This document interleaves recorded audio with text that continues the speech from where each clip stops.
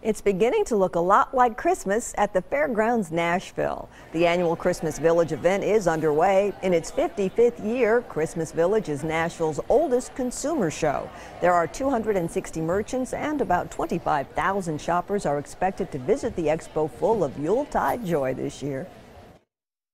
Some of these customers have been coming for years, and it's become a shopping tradition for them and their friends and family. And a lot of them come wearing outfits, and it's really a special occasion for them. But they really enjoy the atmosphere here, they enjoy the variety of vendors that we have, um, and they really like hearing that it's for a good cause.